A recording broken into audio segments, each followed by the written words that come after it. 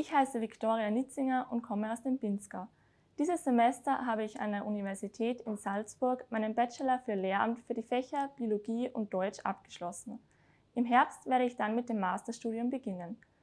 Ich habe mich für das Lehramtsstudium entschieden, da mich meine Fächer bereits in der Schule sehr interessiert haben und ich in diesen Bereichen mehr lernen wollte.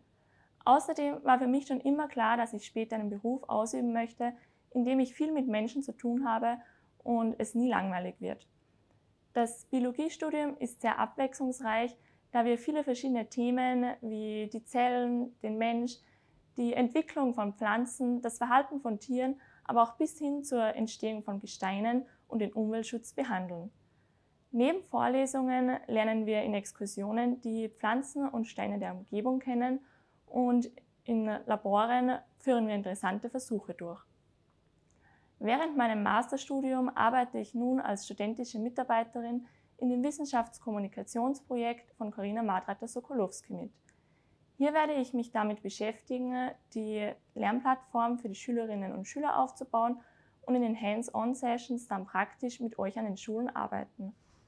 Ich freue mich sehr, dass ich die Chance bekommen habe, in diesem Projekt mitzuarbeiten, da hier eine Schnittstelle zwischen Forschung und Schule geschaffen wird.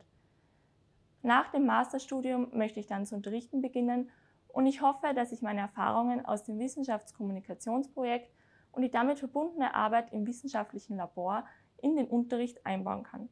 Wenn ihr euch mehr für die Arbeit in einem Labor interessiert, dann schaut euch doch die Videos meiner Kolleginnen an.